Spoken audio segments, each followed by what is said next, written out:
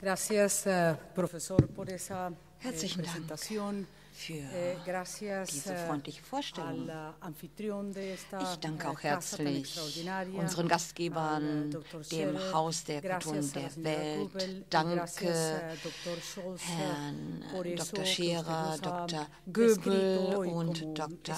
Scholz. Es ist äh, ein gutes Projekt, dieses Engagement, das Deutschland und einen anderen Teil der 21 Welt miteinander de verbindet. Wir treffen uns hier in der Hauptstadt Deutschlands, Angela Merkel, y sus 21 homólogos Jahre nach der Wiedervereinigung und in einer Zeit, in der Angela Merkel und ihre europäischen Kollegen ihre Energie investieren, um Möglichkeiten zu finden, mit der Krise in einigen europäischen. Staaten fertig zu werden, denn diese betrifft die Union als Ganzes. Es sind Augenblicke, die die Kanzlerin als mit die schwierigsten seit dem Zweiten Weltkrieg bezeichnen kann. Diese Botschaft haben wir erhalten. Es exige handelt sich um eine historische. Prüfung. Es geht um das Überleben Lula dieser großen europäischen Union. Der ehemalige Präsident Brasiliens. Luis Ignacio Lula da Silva, sagte anlässlich seiner Rede zum Abschluss des dritten Kongresses für den globalen Fortschritt in Madrid, dass die Welt nicht das Recht habe zuzulassen, dass die EU zu Ende gehe. Südamerika durchlebt selbst historische, wichtige Augenblicke bei der Gestaltung einer eigenen Physiognomie auf der Grundlage einer Perspektive, die von Konsens und Demokratie geprägt ist. Es sind 2008 hemos llegado a dreieinhalb Jahre, seit denen vergangen, seitdem unsere Präsidenten Präsidentinnen opuestas e modelos den Gründungsvertrag económico tan distintos. Cuando UNASUR unterzeichnet haben, eine Vereinbarung getroffen haben über eine gemeinsame Union in Brasilien. Und als ich eingeladen wurde, hier nach Berlin zu kommen, en um die UNASUR zu vertreten, als Minister Guido Westerwelle mich einlud, an dieser junio Konferenzzeit 16 que asumí la teilzunehmen, um etwas über eh, Lateinamerika im. Wandel zu Mm, sagen, fiel mir als erstes ein, dass es interessant wäre zu schauen, was wir bei uns in der Region gemacht haben. Es ist eine 200 politische Reife, die wir heute spüren und die es uns erlaubt, uns an einen Tisch zu setzen und zu versuchen, Lösungen für ein gemeinsames Schicksal zu finden.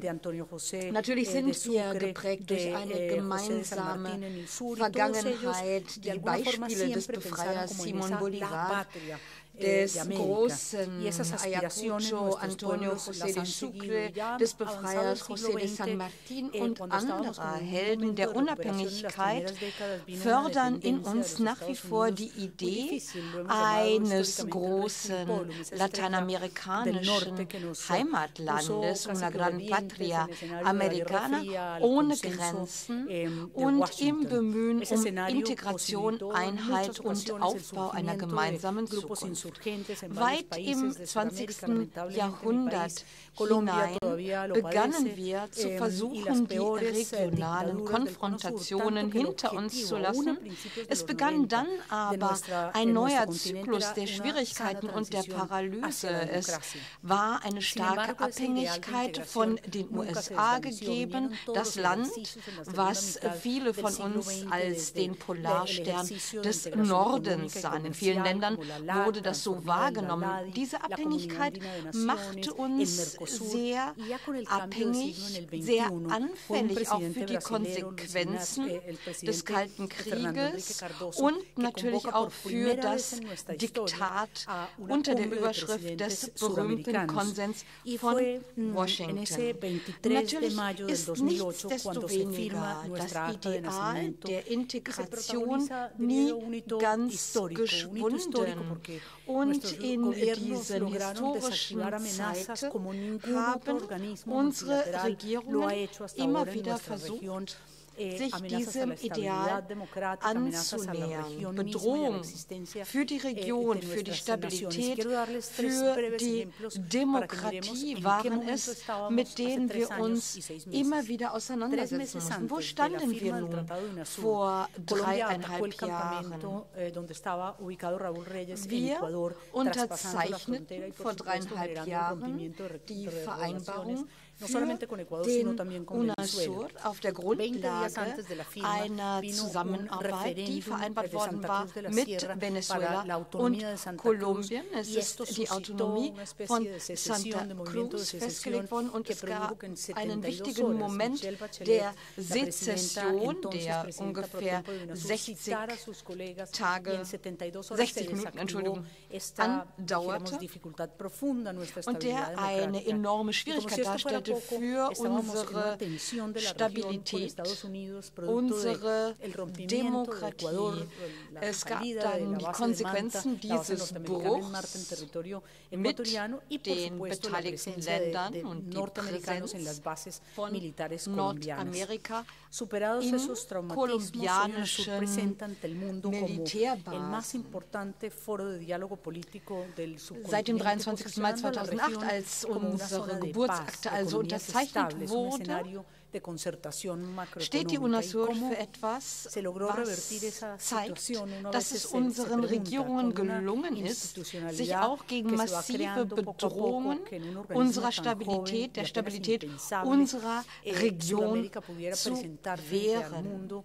Eh, Wie ist es aber gelungen, unsere Abhängigkeit zu wenden, eine Institution zu schaffen, die sich mit einer Vielzahl von Themen auseinandersetzt, die das letzte Jahrzehnt in Lateinamerika, in Südamerika insbesondere geprägt haben, die aufzusehen sind im Zusammenhang eh, mit der Schaffung des südamerikanischen Verteidigungsrates im Jahr 2008.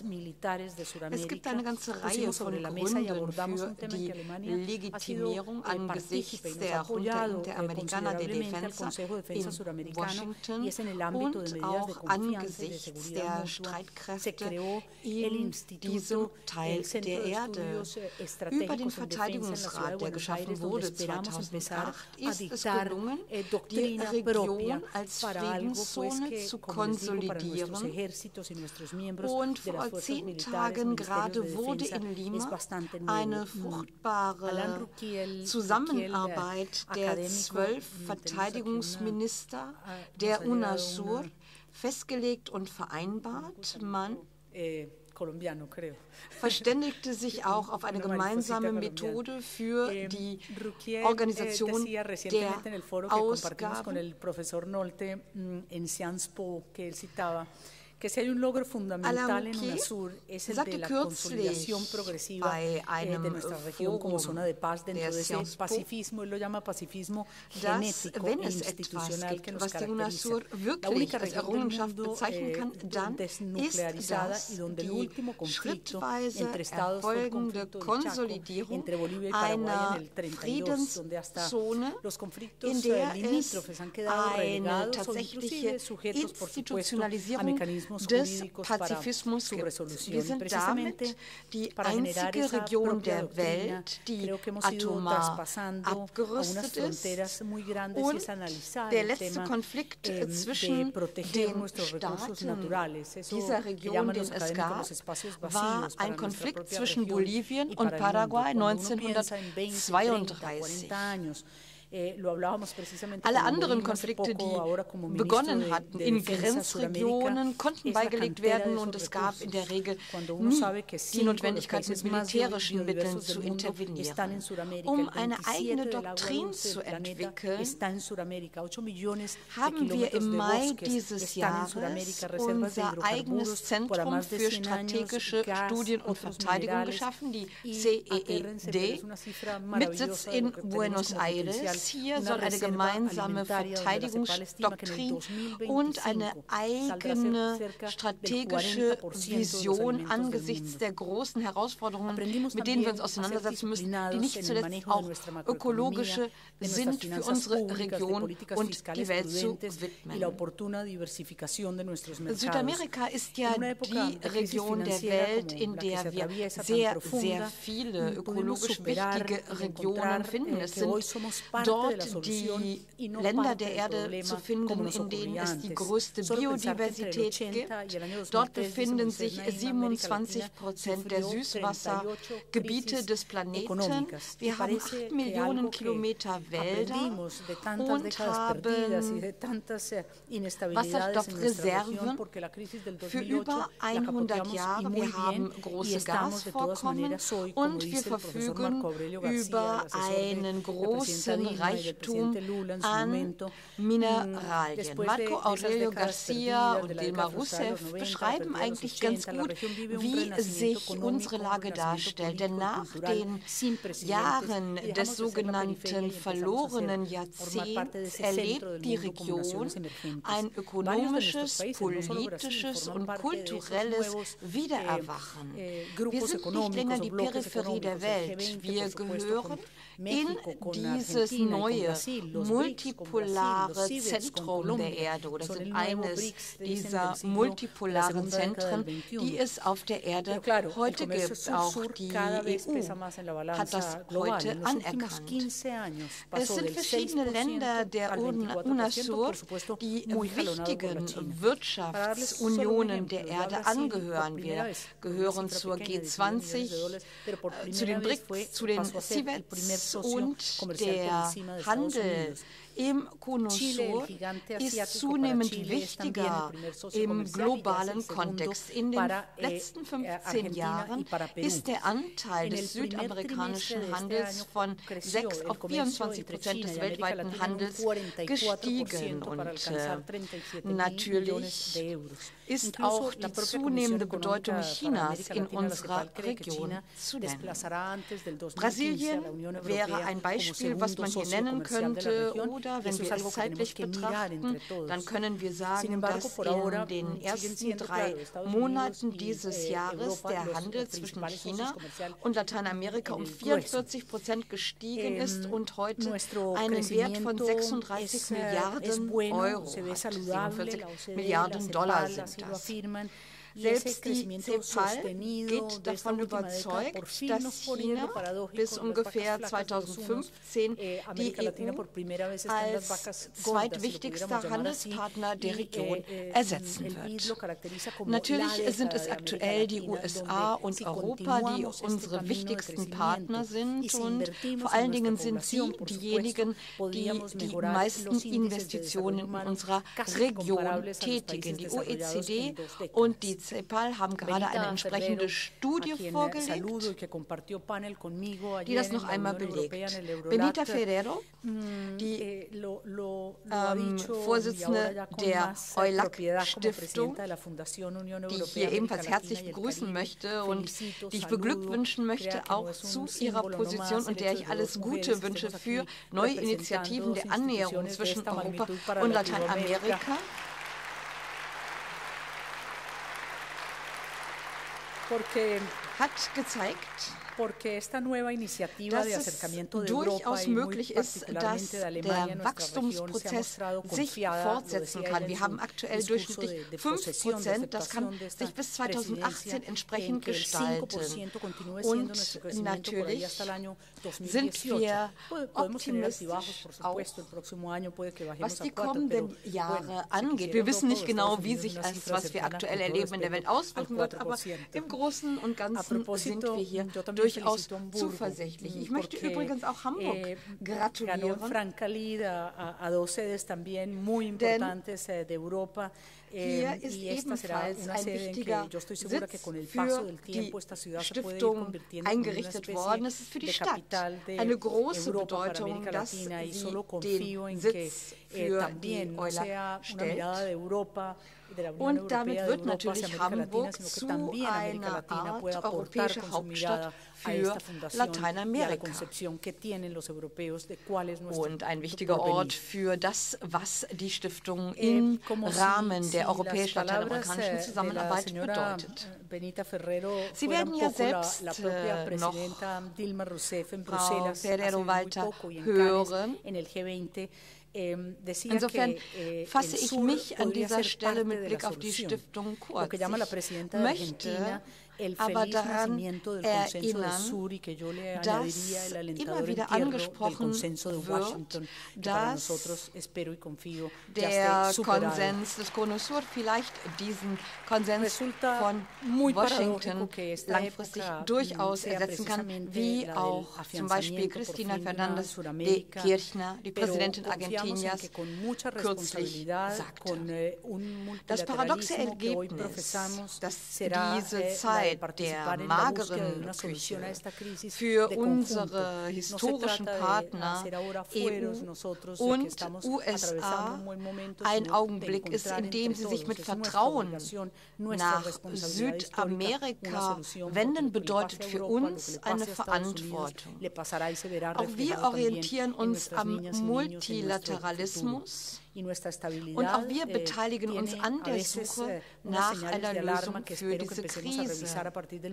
Denn es geht nicht darum, von Sieg zu singen, denn unsere Stabilität ist ebenfalls im Rahmen der Krise zu sehen und auch wir werden sicherlich die Konsequenzen spüren. Insofern sind wir davon überzeugt, dass gemeinsames Handeln auf der Tagesordnung stehen muss. Wir haben bereits begonnen mit einigen Maßnahmen, zum Beispiel mit dem Schutz unserer monetären Reserven, die ungefähr 600 Milliarden Dollar ausmachen.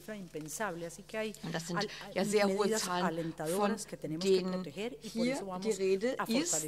Dieses gilt es also zu schützen und deswegen wollen wir auch diesen ähm, Fonds für für die ähm, lateinamerikanischen Rücklagen ausbauen, also den lateinamerikanischen äh, Währungsfonds, der robust sein soll, um uns zu helfen in Zeiten der Not. Wir wollen auch eine Förderung der CAF, unsere regionale Bank zur Förderung der Länder in der Region. Wir wollen mehr Austausch, auch was die nationalen Währungen angeht. Und das wird in Kürze auch vor allen Dingen zwischen Brasilien und Argentinien vereinbart. Wir wollen mehr intraregionalen Handel.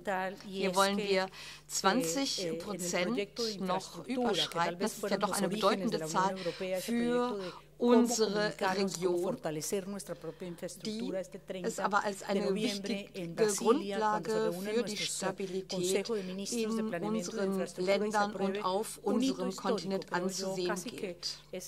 Dann ist es vielleicht wichtig, auch noch einen Schritt weiter zu gehen und eine neue Finanzarchitektur anzudenken. Die Banco del Sur, die bereits von vier der sieben Länder akzeptiert wurde, die sich zu ihrer äh, Einrichtung verpflichtet haben eh, und die demnächst auch von Uruguay ähm, übernommen werden wird, prüft weitere Möglichkeiten eines Austauschs über ein gemeinsames regionales System der Erstattung. Vielleicht äh, ist es für Sie interessant zu wissen, dass am 30. November noch einmal in Brasilia die wichtigsten Instanzen für eine sich Yo creo que hay una asignatura pendiente, Norte la mencionaba ahora y creo que es evidente, Nation, y es, amigos y amigas, que Union der südamerikanischen Nationen zusammenfinden wird, und zwar der Rat für Infrastruktur und Planung, COSI-Plan heißt der. Um einen Aktionsplan für die Jahre 2012 bis 2022 zu verabschieden. Wir müssen uns ja auseinandersetzen mit den konkreten Bedingungen bei uns in der Region und müssen versuchen, eine Verbesserung herzustellen. Bei uns leben 124 Millionen Menschen in Armut, das sind 32 Prozent der Bevölkerung insgesamt. 52 Millionen Menschen leben in großer Armut, 13 Prozent. Und das ist natürlich ein großes Problem, Problem für unser Wachstum und natürlich auch für die soziale Kohäsion, für den Zusammenhalt und für das Wohlergehen aller.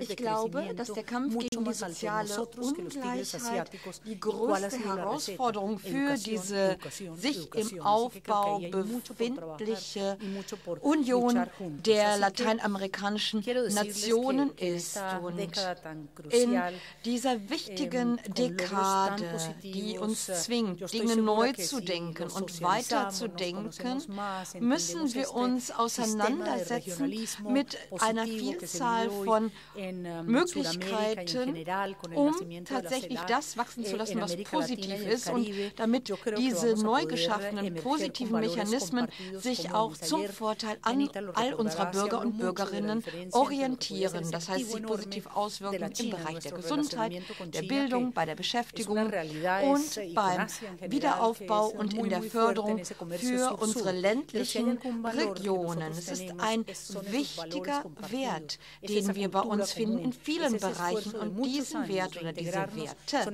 gilt es zu teilen. Es sind wichtige Prozesse der Migration, die stattfinden. Und Sie haben ja über Jahrzehnte auch, über viele Jahrzehnte, unsere Migranten empfangen und wissen, welchen wichtigen Wert für Gesellschaften das darstellt. Für uns ist das eine Prämisse. Gabriel García Márquez hat uns gesagt, dass diese Union, die sich in der UNASUR verbunden findet, ein Hinweis ist auf einen richtigen Weg. Es geht uns darum, uns immer wieder neu zu erfinden. Lateinamerika ist Ausdruck einer Berufung und einer kreativen Kraft, die unser Vertrauen erfordert und rechtfertigt, denn unsere Zukunft ist eine, von der die Welt insgesamt profitieren kann. Herzlichen Dank für Ihre Aufmerksamkeit.